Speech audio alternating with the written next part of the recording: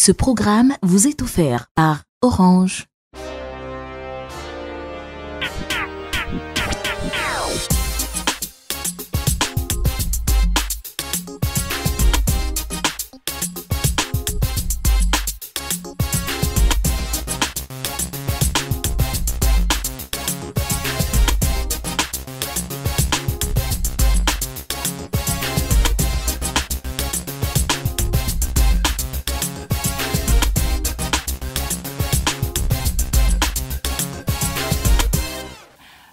À tous et bienvenue dans votre émission Urban, votre émission culturelle à ne surtout pas manquer. Aujourd'hui, j'ai le plaisir de recevoir deux grands acteurs de l'industrie du film Nollywood. Ake Ogbona qui est à Abidjan pour l'avant-première du film Truth, réalisé et produit par l'ivoirienne Stéphanie Afi, mais il est également accompagné du mannequin nigérian Alex Ekubo qui est également acteur vedette de Nollywood. Ils ont partagé ensemble de nombreuses affiches de films comme Stolen Lives, Same Girl. Dans le développement de cette émission, nous allons nous entretenir avec eux. Une guerre du trône éclate. Écoute, même si tu étais le dernier homme de ce royaume, je préférerais donner le trône aux animaux. Tu ne peux rien pour attendre Amon. J'espère qu'il te reste assez de souffle. Car la route sera longue. Très long. Hors de ma vue maintenant Mais la vérité finit toujours par triompher. Cet enfant ici est mon fils. OCI. Ce n'est pas possible Avec la participation de Aike Ogbona, la rencontre entre le cinéma nigérian et le cinéma ivoirien, Chouf, un film ivoirien réalisé et produit par Stéphanie Afi. Thank you very much. bienvenue à vous dans l'émission. Alors, vous êtes venu à Abidjan pour l'avant-première du dernier film Truth, dans lequel tu as tourné, Aike. J'ai beaucoup de questions pour vous par rapport à la collaboration entre le Nigeria et la Côte d'Ivoire pour ce film, mais aussi par rapport à votre carrière et vos premiers pas dans l'industrie, et aussi d'autres choses que je vous réserve. Mais tout de suite, euh, regardons les news. Nous sommes de retour toujours avec nos deux acteurs nigérians, Aike Obona et Alex Ekubo. Euh, Aike, Alors first, Aike, euh, avant tout, tu peux nous parler de Truth et nous raconter ton aventure pour ce casting auquel tu as été convié first of all, I was com- I was contacted by Afi, Stephanie. Tout d'abord, j'ai été to contacté par Stéphanie Affi pour uh, venir ici afin de jouer un rôle dans son film. C'était ma première fois en Côte d'Ivoire et ma première fois dans un pays francophone. Je pensais à comment je veux bien pouvoir communiquer avec les gens, mais elle a engagé un interprète qui me suivait sur le tournage et qui était présent de temps en temps pour la traduction. Yeah, that was working with me from time to time. I got on set, I went through the script, and um, it was um, very hard. Quand nous avons commencé à tourner, que j'ai parcouru le script, c'était très compliqué parce que les autres acteurs parlaient français et j'étais le seul à parler anglais. Ils jouaient en français, moi en anglais, et nous avons dû trouver une, une certaine balance afin d'être en synergie. Ce qui m'a vraiment intéressé à propos de l'histoire, c'est le fait que le film parle de la culture à Caen et de la royauté. Et j'ai constaté euh, beaucoup de similarités avec notre culture au Nigeria. Ça prouve encore une fois que l'Afrique ne fait qu'un et que nous sommes seulement divisés par des frontières. So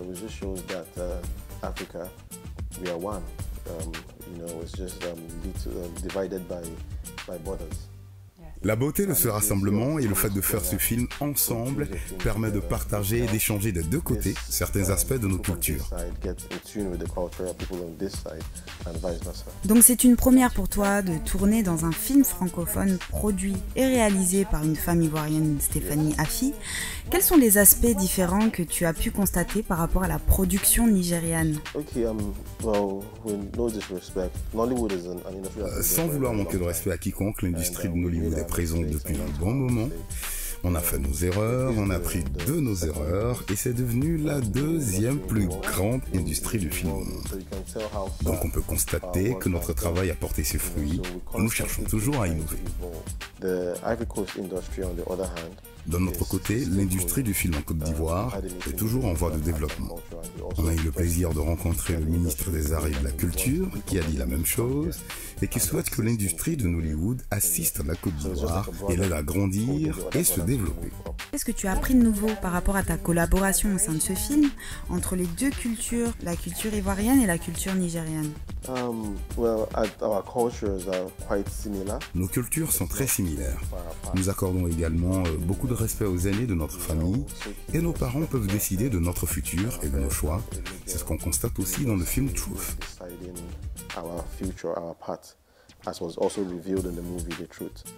Pendant le tournage, j'ai appris quelques mots français et j'ai adoré la cuisine ivoirienne. Mais pour en revenir au film, ça m'a obligé à laisser ma créativité s'exprimer pour pouvoir fournir le travail demandé. Alors, je sais qu'au Nigeria, vous êtes réputé pour avoir une super musique, de talentueux artistes et des mélodies très rythmées. Alex, à part la musique de chez toi, tu écoutes un peu de musique américaine?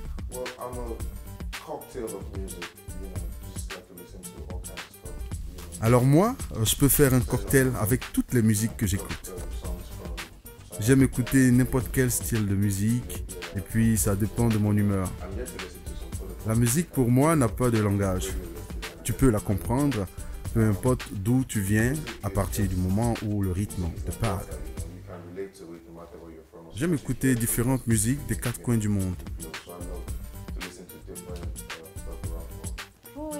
Qui est ton artiste américain préféré?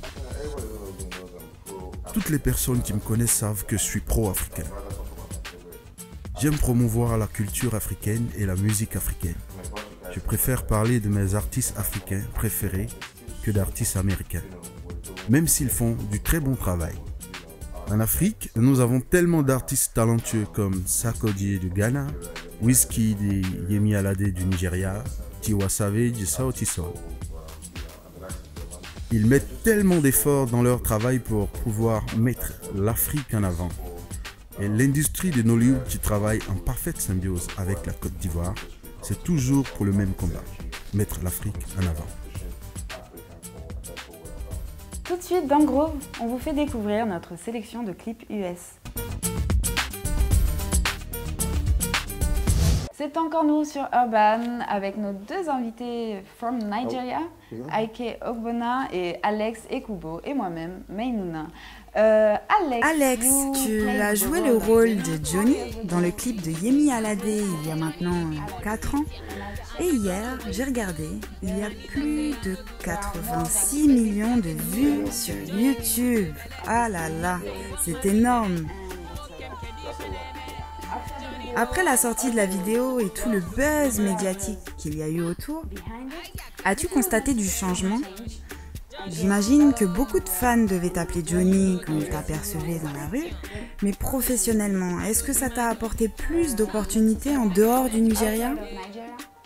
I mean, uh, first of all, a big shout out to my homegirl, um, Yemi Alade. She has the most, the single most viewed video. of Tout d'abord, j'aimerais saluer ma grande amie Yemi Alade, 86 million qui a le single le plus vu en an tant qu'artiste féminin africaine.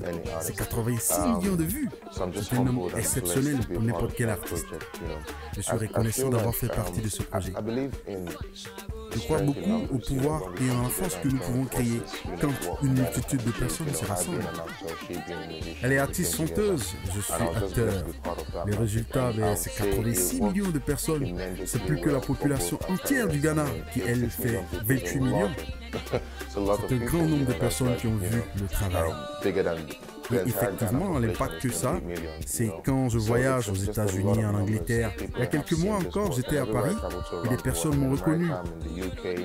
I was in, I was in Paris a couple of months ago. People oh, Johnny, Johnny, Johnny, Johnny, you know, Johnny, um, Johnny. And then, um, Et Yemi Alade est très influente dans les pays francophone francophones. countries, but she's always putting out her music in French. Elle a fait une version de Johnny également en français. song, and we went on to do two more songs after that. We did Tangerine and the latest one, Marry Me. So I mean, I mean, you know, as an artist, you know, anything that puts you on the map, you know, is always welcome and, you know, it's always a good idea. Alors, Ike, qu'est-ce que tu connais à propos de la musique française? Um, I know a, a few. I have um, some favorite artists from the Frank. J'ai pas mal d'artistes francophones qui me plaisent. um, Il y a Fanny Poupa, il y a un morceau que j'écoute beaucoup qui s'appelle euh, Ninja, en featuring avec. Kelly. Then um, Arafat, he's been doing. DJ Arafat uh, aussi, Arafat, qui a collaboré avec plusieurs artistes nigérians. Quand tu collabores avec des artistes d'autres pays, tu gagnes en visibilité. Je n'aurais peut-être jamais connu DJ Arafat s'il n'avait pas fait de collaboration au Nigeria. um, Ça permet d'être connu par un autre public. J'ai conscience que pour ma part, si je n'avais pas eu la chance de faire partie du casting du film Truth, je n'aurais peut-être jamais été connu dans certains pays francophones. Me and learn a bit about my own culture too. Yeah. Tout de suite, dans le groupe, découvrez la sélection de nouveautés françaises. Mais vraiment, Anu bavarde, c'est pas vrai. J'ai jamais vu une femme qui parle comme ça. Et si tu veux te marier, pas une femme très sage, qui parle pas trop, en tout cas comme moi, quoi. Parce que les femmes agaçantes là, oh là là. Causez encore et encore avec les nouveaux passes Illimix. Appel, SMS et Internet à partir de 100 francs. Souscription au dièse 111 dièse ou via l'application Orange Monnaie. Vous rapprochez de l'essentiel. Orange. Vous m'avez l'air d'être de grands amis. On vous voit souvent ensemble, vous jouez des rôles dans les mêmes films, vous voyagez ensemble, vous mangez ensemble. Je ne sais pas si vous vivez ensemble. food. Just playing. I see your food. Yeah. Okay, so I wanted to play a little Je voulais qu'on fasse un petit jeu qu'on va appeler À quel point vous vous connaissez? So, Ike, what is Ike, Alex? quelle est la meilleure qualité d'Alex? Sa meilleure qualité, c'est l'organisation. Il est tellement organisé, c'est comme ça que je le connais. C'est vrai? C'est juste, c'est bien sa frère. Alex. Alex, est-ce que Ike est un bon cuisinier? Oui, il a une des meilleures recettes de pâtes que je n'ai jamais goûtées. Nobody Donc les pâtes sont ta spécialité. Non, euh, c'est que les pâtes sont très faciles à faire. Et comme je suis pressé, j'ai juste à mélanger les ingrédients à l'intérieur et c'est fait. Ike, quel est le type de femme d'Alex? Honestly, um, Honnêtement, euh, tu peux être ce type de femme. Alex Tu es kind of, exactement le genre de, de femme qu'Alex aime. Oh, moi Ok. exactly the kind of woman he likes. He likes. He doesn't Non like his pas les to femmes trop grosses ni trop maigres, juste euh, entre les deux. um, Il aime les femmes avec un, un bon fessier. Uh. Alex, si Ike devait choisir entre mannequin et acteur, qu'aurait-il choisi? Sans hésitation. Uh, does Alex Ike, est-ce que Alex a des talents cachés? Um, I think he pretty much. Je pense qu'il sait montrer euh, sa créativité dans différents domaines. Euh, par exemple, quand on va au karaoké, on peut le voir rapper. When it comes to karaoke, you see him rapping. You're a good rapper. Donc tu es également rappeur. Allez, montre-nous de quoi tu es capable. Show us something. No. Please. Yeah, come on, do it. Do, do it for her. Allez, vas-y, Alex, do it fais-le for pour moi. her. Uh, when I grab the mic and speak flames like a dinosaur, bust you into two with my palms like a rhinoceros. A L E X X, you know where to go if you want safe sex. Don't have to live without a latex. Oh my God. Give me my Grammys. Ok, so. Ok. Alex. what Alex, is quel est l'endroit sur Terre où Ike se sent le mieux? Honestly, Honnêtement, sa place préférée, c'est à la maison, avec sa famille. Je n'ai jamais vu un homme si heureux et fier de sa femme et de ses enfants. Il est tout le temps en train de parler d'eux. C'est le premier à rentrer à la maison à leur côté. Il est toujours en train de me dire, frère, tu devrais te marier, tu ne sais pas ce que tu loues. Euh, Donc je pense que son foyer, c'est son endroit favori. Tout de suite, découvrons les nouveautés afro. C'est encore nous, nous sommes de retour avec nos deux acteurs vedettes de Nollywood, Ike Obona et Alex Ekubo. Guys, you more Alors messieurs, vous êtes plus like que de simples collaborateurs. On pourrait même croire que vous êtes des frères. Avez-vous des projets personnels ensemble? Des projets de production peut-être? Yeah, we're, we're actually working on something that is pan-African. Oui, nous travaillons actuellement sur un projet panafricain. On a eu une idée car nous voyageons beaucoup de pays en pays autour du monde. Ce qu'on souhaite faire, c'est promouvoir notre continent et montrer l'Afrique sous un autre angle et sortir des clichés, des stéréotypes.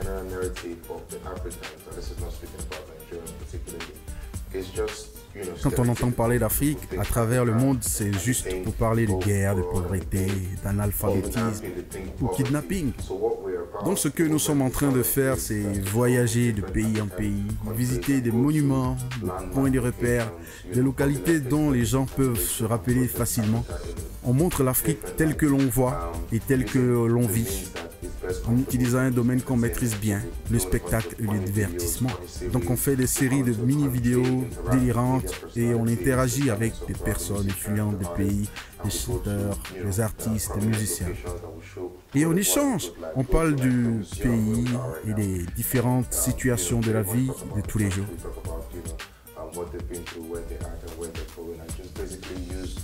our only contribution to the African story. For now. Aike, you are Aike, aujourd'hui, tu es un acteur très populaire. Tu t'es lancé à l'aventure en 2005 en venant t'installer à Lagos. Et c'était pas facile pour toi au début. Tu n'avais pas d'endroit où dormir. Tu peux nous parler un peu de cette période difficile de ta vie? um, Ouh, c'est une très longue histoire. Tout le monde essaie de s'en sortir dans la vie et chacun a son propre chemin.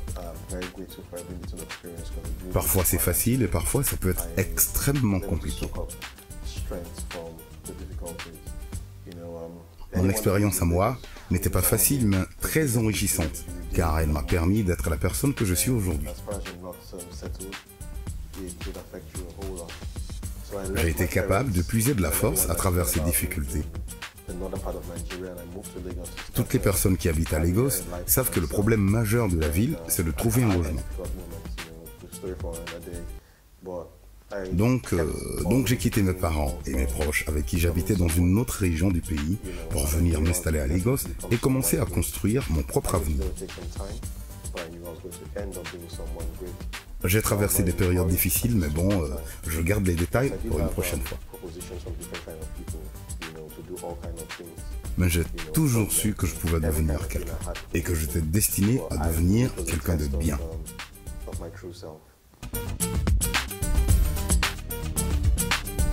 Bonjour à tous, cette semaine dans Insider, je vais tester pour vous la réalité virtuelle. Et oui, la première salle d'arcade en Afrique de l'Ouest dédiée exclusivement aux jeux vidéo en réalité virtuelle se situe à Abidjan, juste derrière moi. Allez, venez, on va y faire un tour.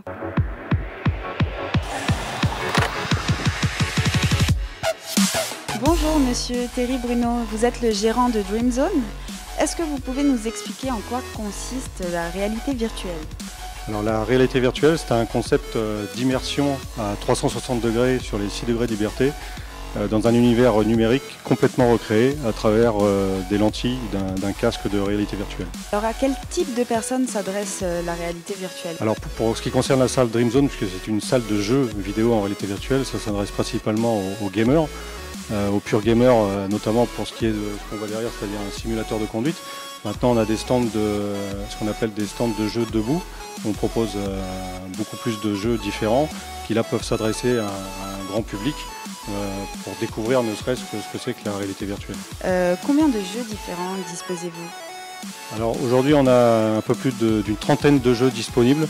de différents types. Vous entendez là un, jeu où on tire sur, sur des soldats, on peut se faire attaquer par des zombies, on peut faire des jeux de découverte où là simplement on est au fond de la mer et on voit des animaux euh, euh, passer autour de nous, des baleines, c'est assez impressionnant. Euh, on a également du, sport, on peut boxer, on peut faire du basket, on peut faire du tennis, on peut faire pas mal de choses. On peut jouer notamment en ce qu'on appelle multijoueur, donc on peut venir en groupe, se boxer l'un contre l'autre. On peut jouer dans un jeu qui s'appelle Arizona Sunshine, où celui que je vous citais, où on est attaqué par des zombies. Euh, on peut jouer jusqu'à 4 personnes en même temps dans le même univers. Alors qu'est-ce que la réalité virtuelle apporte en plus que le jeu de boxe traditionnel qu'on pourrait jouer euh, derrière une manette entre amis? Le, principe de la réalité virtuelle, c'est justement la, valeur ajoutée, c'est l'immersion complète, c'est-à-dire qu'on est complètement à l'intérieur de l'univers euh, recréé, contrairement à un jeu sur une console où on peut être perturbé par tout ce qui arrive dans votre environnement.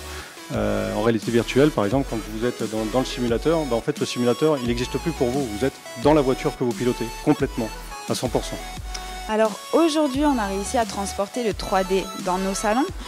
Il y a beaucoup de personnes qui regardent des films en 3D avec des lunettes 3D. Ma question, c'est est-ce que la réalité virtuelle viendra elle aussi dans notre salon? Oui, absolument, il n'y a aucun doute là-dessus. Euh, d'ores et déjà aujourd'hui, vous pouvez acquérir un ordinateur, un casque de réalité virtuelle et euh, mettre un jeu dessus et jouer chez vous. Alors c'est vrai qu'il faut un, petit espace quand même. Ça représente un certain budget aujourd'hui, mais ça va très vite se démocratiser dans le, dans le proche avenir. On aura des casques qui intégreront le, système informatique à l'intérieur du casque et euh, on pourra jouer très facilement dans n'importe quel environnement. Alors est-ce que vous organisez des tournois, des jeux en réseau, des, challenges? Oui absolument, on vient juste de démarrer l'organisation d'un Grand Prix euh, de Formule 1. On va suivre euh, le championnat du monde. Donc là, le 10 mars, on a démarré le Grand Prix de Melbourne. On va faire un classement au temps. Le meilleur temps euh, qui sera réalisé le 25 mars, le jour de la course réelle, sera vainqueur du Grand Prix. On vous fera une attribution de points. On fera ainsi tous les Grands Prix jusqu'au mois de novembre, jusqu'au 23 novembre, date du Grand Prix d'Abu Dhabi. Et il y aura désignation d'un champion du monde, Dream Zone, qui se verra attribuer un billet d'avion aller-retour à Abidjan-Paris. Euh, le deuxième du podium euh, ira à Assigny pour un week-end à deux. Et la troisième place se verra attribuer un dîner sur une grande table d'Abidjan. Donc là, c'était plus ou moins la partie théorique. Maintenant, passons à la partie pratique. Alors moi, je suis une grande fan de Walking Dead. Est-ce que vous avez un, jeu de, fight contre les zombies? Ah bah alors, si vous avez le cœur bien approché, je vous, invite à jouer Arizona Sunshine. Vous allez pouvoir essayer tout de suite. Allez,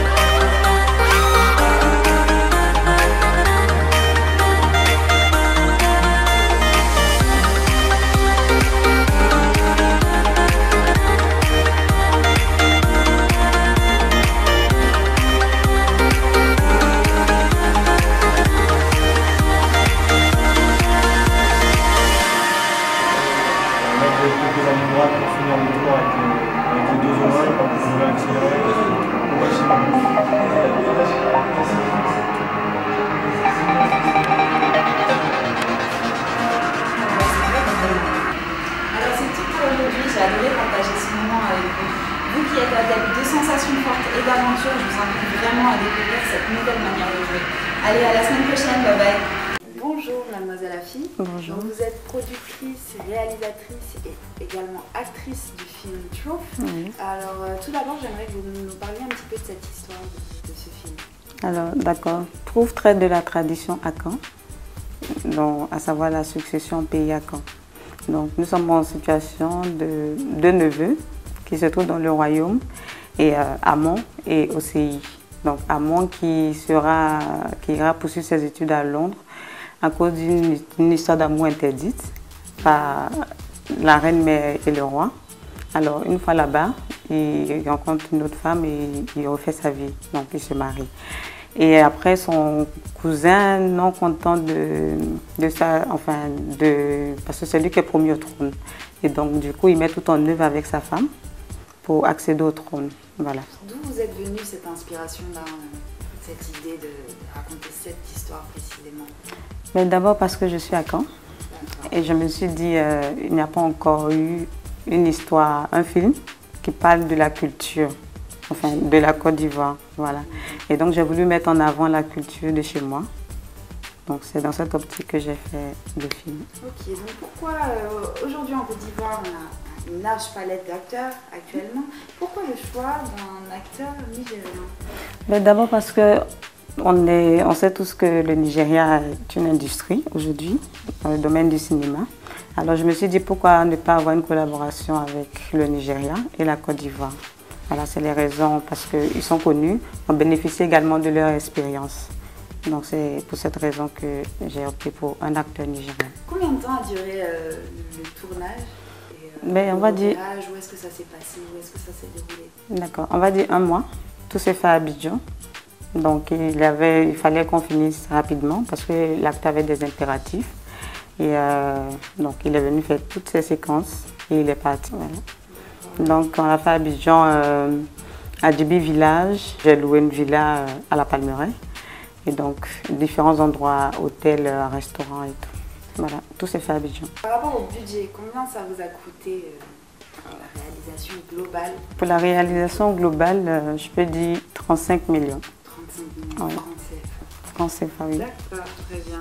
Alors, euh, quel est le programme? Vous avez donc l'avant-première. L'avant-première, c'est le 23 mars 2018 au Novotel à partir de 20h.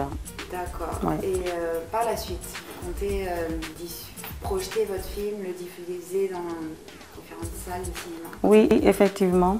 Après euh, l'avant-première, je compte bien euh, avoir des diffusions dans les différentes salles de cinéma. Mais j'attends euh, que le Majestic et toutes les chaînes de distribution me donnent le programme. Donc en fonction. Au Nigeria, Oui. j'ai découvert que je ne connaissais pas une plateforme de films nigériens. Est-ce que vous pensez que le film que vous avez réalisé ivoirien pourrait avoir un accès à cette plateforme-là Bien sûr, parce que je me dis d'abord avec l'intervention de l'acteur nigérien, c'est déjà une porte d'accès. Tout à fait. Et euh, surtout qu'on est francophone, c'est déjà un plus. Donc c'est fort possible que j'y accède. Oui. Je vous remercie. Merci à vous. Tu vas jamais y arriver, tu vas jamais y arriver, vas jamais y arriver, tu ne verras jamais le sommet. Y a des gens qui me disaient que j'allais jamais m'en sortir, j'allais jamais y arriver. Mais je sais que avec le temps, rien n'arrive au hasard. Plier genoux, garder la foi, aussi l'espoir. Les problèmes, c'est normal. Les difficultés, ça arrive. Beaucoup de pièces sur le chemin. Ça, c'est la vie.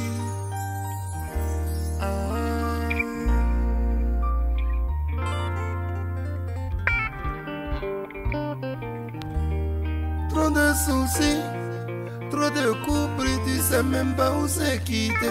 Si ton bonheur se trouvait dans la bouche des gens qui passent la vie à critiquer, tu serais en train de dormir dans la rue ou bien dans un cimetière.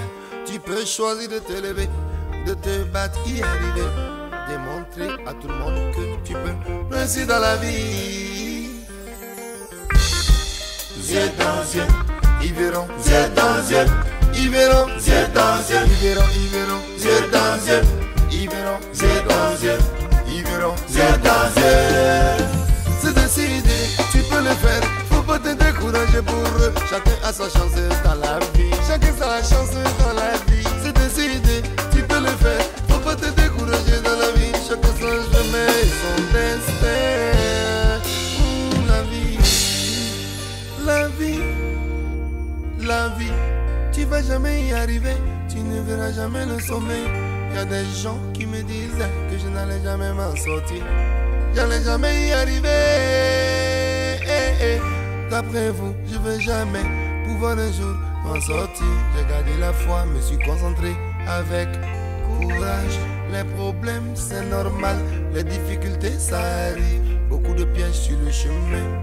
Ça, c'est la vie.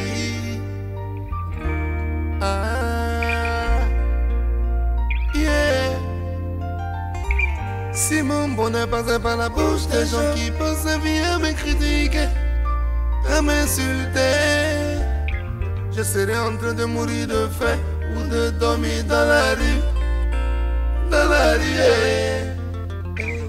Mais j'ai choisi de me lever, de me y arriver, de montrer à tout le monde, à tout le monde, tout le monde. Je peux réussir, j'ai toujours prié genoux. Oh. Bibe na go, oyin na jẹ pa kirika nìyẹn. Bibe na go, ene nu ono na digbo. Bibe na go, oyin na jẹ pa kirika nìyẹn. Bibe na go, ene nu ono na digbo. Bibe na go, oyin na jẹ pa kirika nìyẹn. Bibe na go, ene nu ono na digbo. J'ai passé un agréable moment avec vous, c'est déjà la fin. Je vous dis à la semaine prochaine et je vous laisse sur quelques mots français de nos deux acteurs nigériens. Merci beaucoup, c'était Aiki dans Harper. Merci beaucoup, c'était Alex dans Harper. Thank you.